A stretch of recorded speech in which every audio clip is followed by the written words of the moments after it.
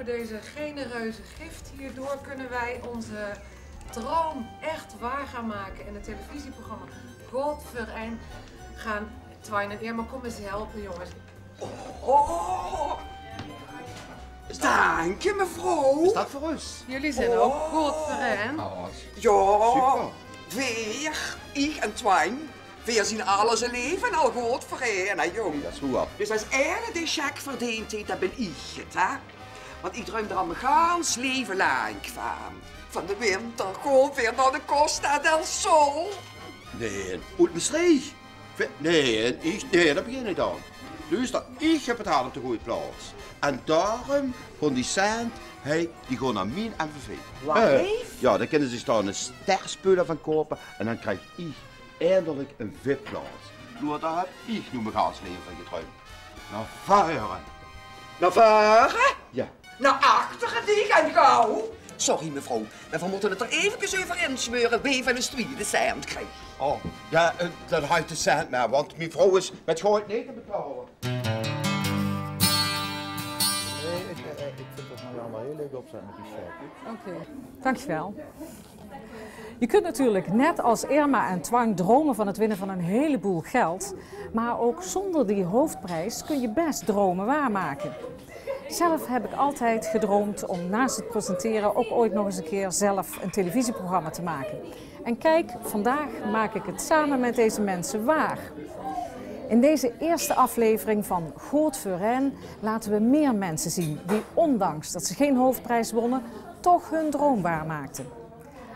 Allemaal op hun eigen wijze, maar ook allemaal met passie en plezier.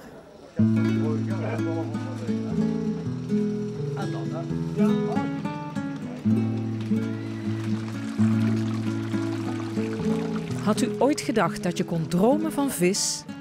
Matt Koch was tot voor kort fulltime conciërge op een basisschool in Maastricht. Kopieerwerk, de telefoon aannemen, pleisters plakken op zere knietjes. Kortom, hij was en is de spin in het web van de school. Hij werkt er met veel plezier, maar zijn hart bleef bij de vis. Mijn droom is eh, altijd geweest, mijn pap heeft vroeger op het Emmerplein gestaan met vis. Dus ik ben geboren en getogen in dit vak. En als ik als kind op het Emmerplein kwam bij mijn ging ik altijd helpen. Voordat ik naar school ging helpen voor hem altijd met. En dat heeft me altijd geraakt en altijd gepakt.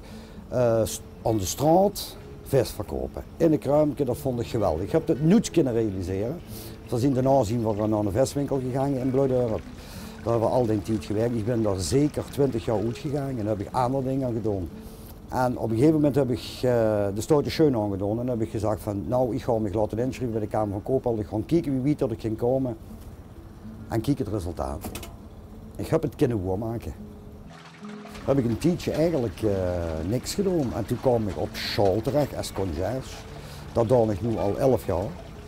Daar werk ik vijf dagen in de week en dat, dat was het altijd zo. Op die 12 jaar ben ik daar zeker een keer of vijf ontslagen geworden. Maar niets tot ik moest gaan. Toen kreeg ik weer een contract, dan het de melkerbanen, en dan het de ideeënbanen.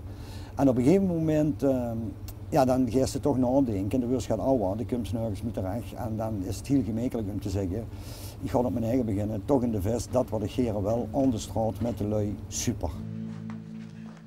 Veel meisjes zijn verliefd op de drummer van de band. Misschien verklaart dat wel de jongensdroom van Paul Konings. Helaas staken zijn ouders daar een stokje voor. Maar omdat het bloed kruipt waar het niet gaan kan, greep hij zijn kans toen een aantal collega's een drummer voor hun band zochten. Mijn, mijn droom is al oud. Eh, die, die, ontstaat in de tijd van, van het het jongetje van 13, 14, 15 die, eh, die rockbandjes hoort. En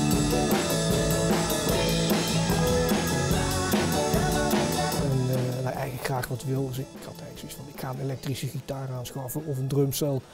Eh, mijn ouders die zeiden vervolgens, ja, doe maar later, niet in mijn huis. Dus de droom bleef eh, een droom. Nou ja, vervolgens ga je studeren in een klein kamertje en dan houdt het allemaal helemaal op. Krijg je kinderen, gaat de droom weer niet door. En op een gegeven moment kwam ik eh, op, op het werk mensen tegen die, die ook wat in de muziek deden. En die hadden eigenlijk behoefte aan een drummer. En bij mij thuis stond, omdat mijn zoon wel zijn droom mocht waarmaken, een werkeloos drumstel te staan. Want die zoon was intussen het huis uitgegaan om te studeren. Dus toen dacht ik, nou ja, dan ga ik nu maar eens een keer achter dat ding zitten. Maar ja, goed, dat is niet zomaar uh, makkelijk om te doen.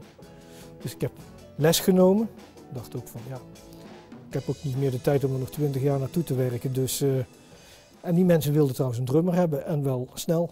Dus ik heb les genomen en uh, ben na een paar maanden les al met die anderen in het repetitiehok gekropen. En toen zijn wij uh, een bandje gaan vormen. En inmiddels zijn we met, uh, met zes mensen.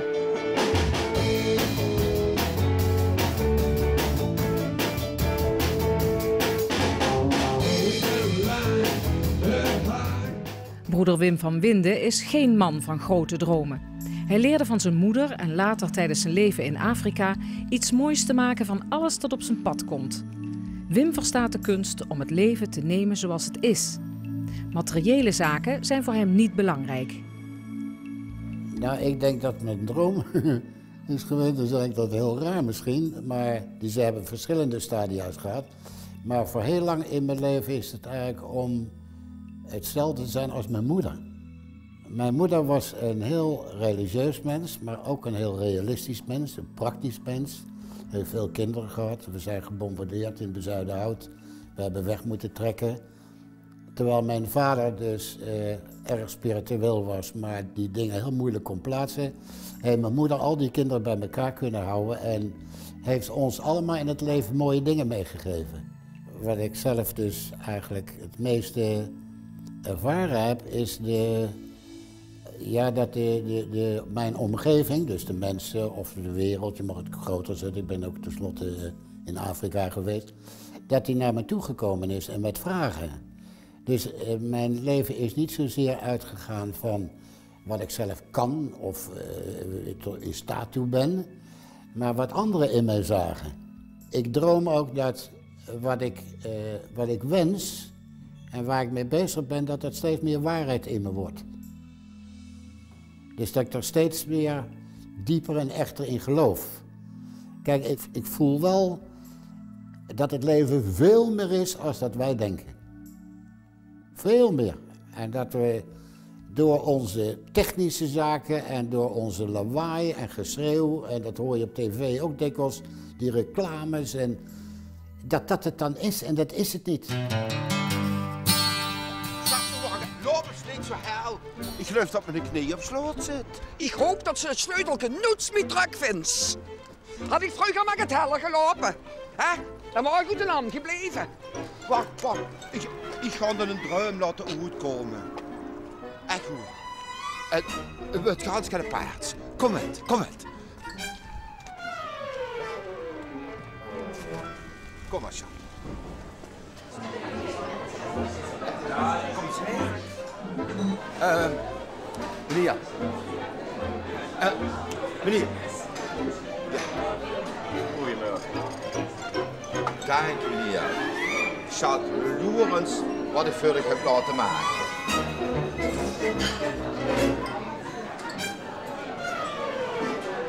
Hier. Zuster, ik wist het als. Die is mijn Maastrichtse droom. Matt heeft in het begin veel moeite moeten doen om goede marktlocaties te vinden in de omgeving. Maar hij is een doorzetter. Ben ik naar Steen gegaan. Uh, daar hebben ze dat Noetwinkelcentrum neergezet. En dan moet ik zeggen, dat ik heel erg leuk. En de draai ik heel erg goed. Dit hebben ze me een aanbied komen vragen of ik dit wou doen. In eerste instantie had ik zoiets van, ja, moest ze dat wel doen? Liever dat gaat op. Ik denk, ach ja, voor dat leuk is, kom op. Maar ja, ik word eerst gevraagd voor één dag uh, in de maand en ik sta nu dus twee dagen in de maand. Dus loont ze nog wel. Dit is mijn vak, dit is mijn lus. En ja, ik kan dat niet precies uitleggen wie dat allemaal in elkaar zit, maar het is gewoon een geweldig vak. Ik zou dat heel graag opnieuw willen doen, ja. Maar dan zou ik ook niet meer uh, wachten, maar dan zou ik het toch direct doen.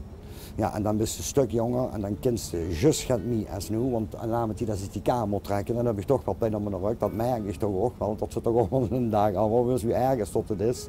Maar als ik het nog eens zou doen, zou ik het echt ieder doen. Ja. Het beste wat ik hij in ken, ja oké, okay, de gast niet, natuurlijk niks over de eigen zeggen, wat is het beste. Maar ik ben heel goed in het fileren. Ja, ik vond uh, vroeger wel bij ons in de zaak altijd in de wedstrijd. En dan mocht ik altijd fileren en maatjes zuiver maken, dat is toch wel mijn sterkste punt. Ja.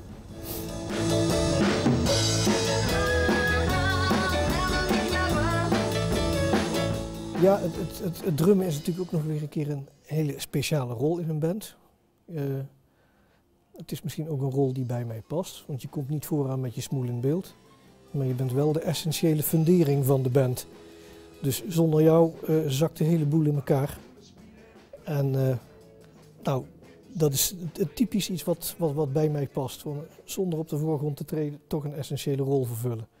Dus ja, het, het is wel leuk. En het is ook gewoon gezellig om met een stel uh, min of meer leeftijdsgenoten iedere donderdagavond gezellig iets te ondernemen. De leden van Climate, zoals de band van Paul heet, komen bij elkaar in de muziekgieterij. Gitarist Ron Braat is maar wat blij met zijn drummer. Het is vooral erg leuk om samen met, met uh, vrienden muziek te maken. Omdat uh, ja, dan ontstaat er altijd iets wat, uh, wat er daarvoor niet was. En dat kan ik in mijn eentje niet bereiken.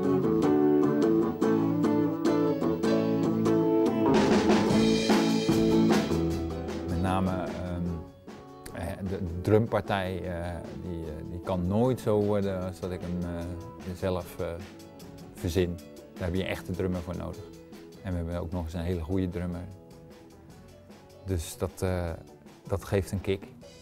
Toen ik zelf als ouder een jongetje van die leeftijd in huis had die zoiets wilde, heb ik die dus wel de kans gegeven. Als, als je als 50-plusser ook zoiets wil, gitaar spelen, drummen, basgitaar spelen. Het kan allemaal. Er zijn in Maastricht op uh, meerdere locaties plekken om les te nemen. En ja, de muziekgieterij is natuurlijk een plek waar je prima uh, je oefenruimte kunt vinden met een stel. En ik vind het trouwens een, een tent die uh, meer aandacht mag krijgen en die best een beetje een uh, push in de rug mag krijgen. Sinds zijn terugkeer uit Afrika woont Wim in de Bijaard. De laatste jaren schildert hij iconen en hij verdiept zich in de geschiedenis ervan. Ook begeleidt hij cursisten. Het is op zijn pad gekomen en hij haalt er veel voldoening uit. Hoe kan het nou toch zijn dat ik techniek leer, boeken schrijf, ontwikkelingswerk doe en nou met dit bezig ben? Zeg je, ja, maar heb je daar ooit voor gestudeerd? Nee, ik heb er nooit wat voor gedaan. Maar er is iets in mensen en, en nogmaals, als je daar ja tegen zegt, dan komt het. Dan moet je er niet bang van zijn. En ook niet bang zijn in het begin, nogmaals, om zo'n icoontje te schilderen wat dus nergens op lijkt. Ook technisch niet. Maar ik, ik weet niet of je het dichtbij gezien hebt. Maar als je dan kijkt, zie je, dit is een heel erg uh, onaffe icoon. En dat was ook de eerste. En uh, technisch is het ook niet goed. En toch, als je dat gezicht ziet, voor mij dan, hè, op afstand, dan is er iets. Daar heb ik affectie mee. Maar en daardoor doe ik hem ook niet weg. Waar ik zelf op mijn kamer hangen drie mooie iconen. Dus die vind ik zelf wel de mooiste. Met een lampje erbij. En in Rusland hangen ze dat dan nog in een hoek. En die hebben dus, als die binnenkomen in de kamer, dan groeten ze eerst die icoon. En als ze weggaan, dan groeten ze weer. En soms is er ook een gordijntje. En als er ruzie in huis is, dan doen ze het gordijntje dicht. Lossen de ruzie op, doen het gordijntje open. En dan, kijk, dan leef je helemaal. En dan heb je ook een soort, uh, uh, ja, moet ik zeggen, religieus uh, respect voor die, voor die icoon. Dus ik zou iedereen willen aanraden om te leren langzamerhand in je leven geen etiketten plakken op dingen. Dus dingen laten zijn die er zijn. En als er wat gebeurt, of het nou ziekte is of fijne dingen, het heeft allemaal zijn betekenis in je leven. En Probeer dan wat tijd te nemen of rust. En dan wordt je leven ook gelukkiger. En dan raak je ook, ik vind het zelf een mooi woord, verwondering. dat, er, eh, dat je je verwondert in je leven dat die dingen daarachter zitten en dat die eigenlijk zo mooi zijn. En als je dankbaar wordt, nou, dan eh, denk ik wel dat je een heel goed leven hebt. Hoor. Ik heb ergens gedacht van dit gaat me dus echt niet lukken. Maar kijk, als je, als je een passie hebt moet je het niet zien als werk.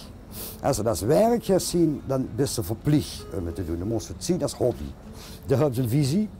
En als je die visie kunt volgen, denk ik je een flink stuk kunt. En uiteindelijk is het gaat wat de geren wilt, kun mag. Dat wil ik zeggen. Heerlijk hè, al die dromen. Een lang gekoesterde droom waarmaken, dat kan echt een kick geven. Deze aflevering kunt u terugzien op www.goldverijn.nl. En als u daar dan bent, laat ons dan ook eens even weten wat u van deze aflevering vindt. Het is tenslotte een programma over, voor en door 50-plussers. Als u een lang gekoesterde droom hebt, dan zouden we die ook graag van u horen. Want misschien kunt u daar weer iemand anders mee inspireren. Dat was het voor deze keer. Ik zie u heel graag terug bij de volgende aflevering van Gold.